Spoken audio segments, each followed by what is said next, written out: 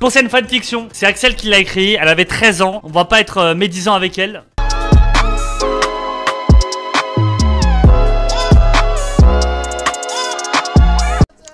Volt, c'est pour toi que je fais ça. De noir et blanc, de toi à moi. Ah, point de vue de Volt. Ah, on est en finale, on est en finale, on est en finale Le 7 juillet au soir de la première journée de la Japan Expo, la France se qualifie pour la finale contre le Portugal. Et ça c'est bien mon gars, peu importe le vainqueur, il sera de mon équipe, le Portugal ou la France. Parce que je le rappelle, Volt est portugais et français. Je suis tiré de mes pensées lors du but de Griezmann. Les gars se mettent à chanter, ou plutôt à hurler Merci Grigri Merci Grigri Merci Je lève les yeux de mon portable juste à temps pour m'apercevoir que David filme. Je me mêle aux autres et je crie, chante, danse avec eux. Nous sommes assez nombreux dans la pièce. Il y a Pyrux, David, Sycomore, Rayquaza Master, moi, j'en passe, et Sisa. Je crois son regard pendant une fraction de seconde et me détourne aussitôt. J'avoue que j'ai du mal à comprendre ce qui m'arrive. Notre amitié est solide. Nous sommes proches, mais rien de plus. Je l'espère. Car c'est vrai. J'ai peur. Pas peur d'aimer, non. Ça, jamais. Mais peur de briser quelque chose entre nous. Peur du regard des gens, des jugements. Il arrive souvent que les gens se moquent de ma passion sur Pokémon, alors je n'ose imaginer les réactions des gens par rapport à... Mais qu'est-ce que je raconte? Il n'est pas même question de penser à ce genre de choses. Ça fait plusieurs fois que je me suis prend à observer Cisa, à le détailler, à écouter sa voix et boire ses paroles. Il faut que je fasse quelque chose. Ça ne peut plus durer. Pour essayer de sortir de son état actuel, Mathieu se mit à remonter le fil d'actualité de ses différents réseaux et finit par retomber sur cette photo. La photo. Et il disait que même si c'était possible, il n'aurait pas la force de supprimer ce tweet. Il passe alors rapidement à autre chose, de peur que quelqu'un ne remarque quelque chose. À peine quelques instants plus tard, Sisa, inconscient des pensées de son collègue et ami, vient s'asseoir près de lui, sans que ce dernier ne remarque quoi que ce soit, toujours perdu dans ses pensées. On a gagné, gros Euh, ah oui, oui, on a gagné. Ça va? T'as pas l'air bien Ça va très bien. J'ai l'air mal Phrase à laquelle le youtubeur associe un sourire plus ou moins convaincant. Et sans vénérer Adati. Petite référence à Nalbuck calme. Et sans être un loup-garou, Sisa sent le mensonge de loin. Gros, t'as une tête de mareste. Une tête de mareste. Allez, explique tout. Non, je veux pas pourrir ta soirée avec mes problèmes de cœur.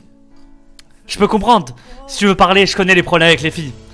Cette dernière remarque arracha un rictus involontaire à l'originel, et qui qui répondit C'est un peu plus compliqué que ça, mais c'est pas le moment.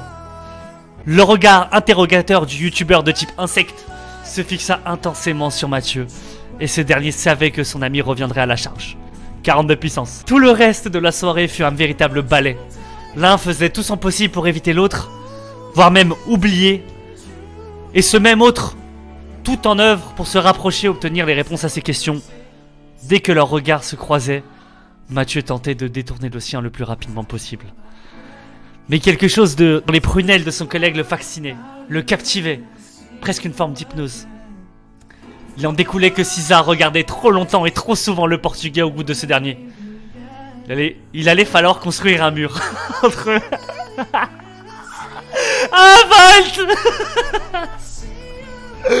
Point de vue de César Lendemain de soirée, nouvelle journée à la Japan Expo. Volt fait comme si de rien ne s'était passé. Mais je sens qu'il y a un problème, je le sais. Ne me demandez pas comment. J'en sais rien moi-même. Nous prenons une photo directement tweetée et c'est parti pour le show. Toute la journée des photos avec les fans. Parfois juste moi, parfois nous deux. Il me semble avoir vu tressaillir quand j'ai effleuré après un selfie. Ses gestes et ses attitudes me semblent différentes. Je le sens perturbé. Et ça me perturbe aussi La journée passe en un éclair. À part pour les photos, Je sens que Volt m'évite. Reste à savoir pourquoi. À la fin de la journée, nous n'avions rien prévu de particulier. Je décide cependant de suivre mon ami qui cache un trop grand nombre de secrets à mon goût. Quelques rues plus tard, quand je suis sûr qu'aucun des autres ne peut plus nous voir, je l'attrape et marche à ses côtés. Alors, t'es décidé à me raconter ce qui se passe, Volt? Mathieu Je lui saisis le bras. Aucun doute, il a bel et bien tressailli. Explique-moi ce qui se passe. Point de vue de Volt Je panique Mon cœur rate un battement et repart à 3000 à l'heure. Je... j'ai des papillons dans le ventre et du mal à respirer. Ce que je réalise uniquement lorsque Sisa me dit Euh, ça va Matt? T'es tout rouge. On dirait un Magikarp. Ok, calme, respire, inspire, expire, encore. Voilà, bordel, un Magikarp. Je crois que j'ai le même QI que la bestiole en question sur ce coup-là. Je tente de dégager discrètement mon bras, mais c'est peine perdue. Malgré les apparences, il a de la poigne Bien sûr Ah, c'est moi qui parle. Je m'inquiète pour toi. Je veux bien comprendre que tu n'as pas super envie de me parler de tes histoires de cœur, mais de la m'éviter, me fuir presque. Je reprends un peu à peu mes esprits. Mon cerveau se rallume lentement. Je sais que ça va te paraître bizarre dit comme ça, mais il vaut mieux que je te dise rien. Pourquoi? Ça concerne une de mes ex? T'as le champ libre? C'est plus compliqué. Mathieu, explique-moi. J'ai pas le temps. Désolé. Je sens avec soulagement et regret à la fois l'entrainte de son bras me serrer, jusqu'à disparaître totalement. Sisa me lance un dernier regard, que je ne peux supporter plus de quelques secondes. Puis part dans la direction opposée à la mienne. Point de vue omniscient. Volt se réveilla au matin, encore fatigué des lames de la veille. Réflexe normal. Il vérifia les notifications du portable en se préparant pour le second jour de la Japan Expo. Une certaine Geekette 3, où c'est Axel, les avait mentionnés plusieurs fois lui et Sisa sur des statuts à propos d'une fanfiction. Lui qui avait déjà du mal à réguler ses émotions et sentiments ces derniers jours, voilà qu'une geekette anonyme les exprime pour lui. Dans tous les cas, il allait falloir qu'il trouve une solution et un moyen d'arrêter de bégayer au moindre contact avec Sisa. Après avoir vainement tenté de convaincre Volt et de m'expliquer ce qui n'allait pas, je suis rentré chez moi. Et puis c'est décidé. Je vais mener l'enquête. Je commence alors à rassembler les indices. Et comme tout beau apprenti policier, j'ai besoin de photos. J'ouvre la galerie de mon téléphone et je réalise qu'il apparaît sur la quasi-totalité des photos que je possède. Ça me fait bizarre parce que juste ici, je les avais jamais remarquées. Je passe quelques minutes à chercher la meilleure photo. Oui, définitivement c'est celle-là. Aïe aïe aïe Ça c'est une photo de beau gosse ça Je vais me coucher, je fais un petit tour sur Hearthstone. Ne jamais perdre de, point, de vue l'essentiel. Mais cette petite voix que l'on a tous me dit Pourquoi tu n'as pas Mathieu sous les yeux alors?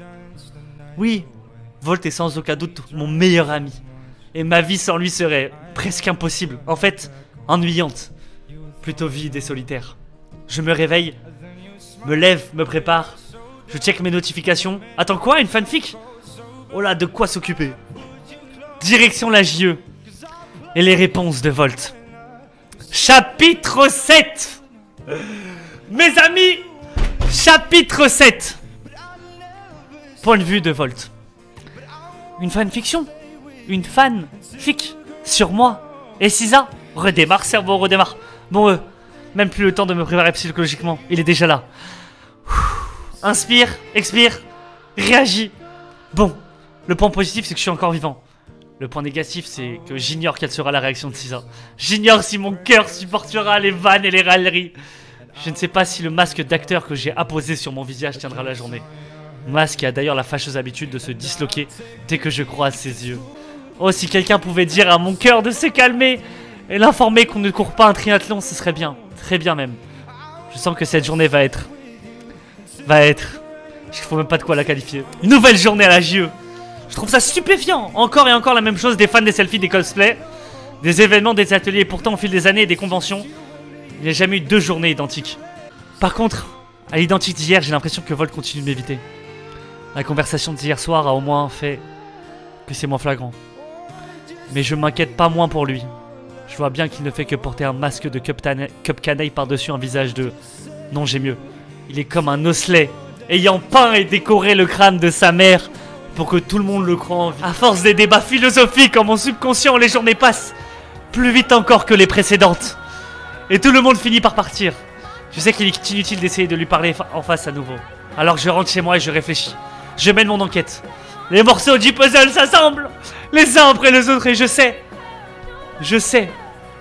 Mais je ne sais pas si ma déduction est fondée ou le fruit de la petite voix qui me fait taire depuis longtemps. Dernier chapitre. Mon cœur et mes neurones tournent à 3000 à l'heure. Je suis devant chez lui, un peu en avance, comme le jour précédent. Il sort un peu en retard, comme d'habitude. encore en avance. Et je n'ai... Et je n'ai de nouveau pas le temps de m'entraîner à sourire. Alors je sors, affiche de lui qui me paraît le mieux. Sans oublier les lunettes sur lesquelles mon regard se perd bien trop habilement. Il se perd toujours évidemment, mais au moins, ça se voit pas. Ça se voit pas. Et nous marchons en direction de la Japan Expo en parlant de tout et de rien. Surtout de rien. Je me sens bien. C'est de toute manière automatique quand je suis avec Sisa. Arrête. Et puis cet air vient à la tête. Cette chanson si porteuse de sens. Qu'est-ce que tu chantonnes? Merde Volt, c'est trop dur de se taire. Hmm, ça, c'est un air que j'ai dans la tête. D'ailleurs, euh, je me souviens même plus des paroles. Menteur. Je vous ai à peine relevé la tête. Et lors des quelques fractions de secondes où nos regards se croisent, je comprends qu'il sait que je les sais. Les paroles. Mais il ne dit rien. Parce que je lui fais honte. Parce que je le dégoûte. Parce qu'il ne sait pas quoi faire. Inconsciemment, je le suis, pardon. Et soudain, parce que je ne sais pas quel miracle, tout le monde disparaît. Plus que lui devant et moi qui suis.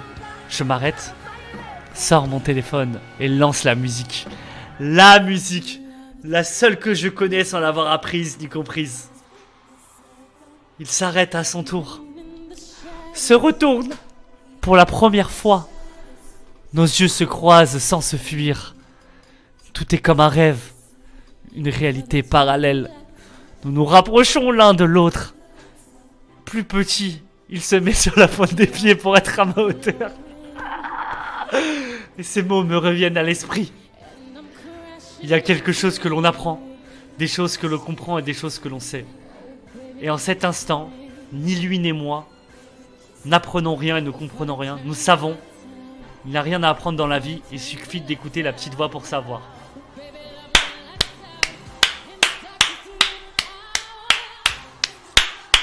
Bravo pour cette petite fanfiction. Vraiment, Volt. Bah, on peut le dire. Euh... Tu me kiffes, hein. Taking my dick in my pants. Hey, my bitch don't love me no more. Hey, she kicked me out of life, bro. Hey, that bitch don't wanna be.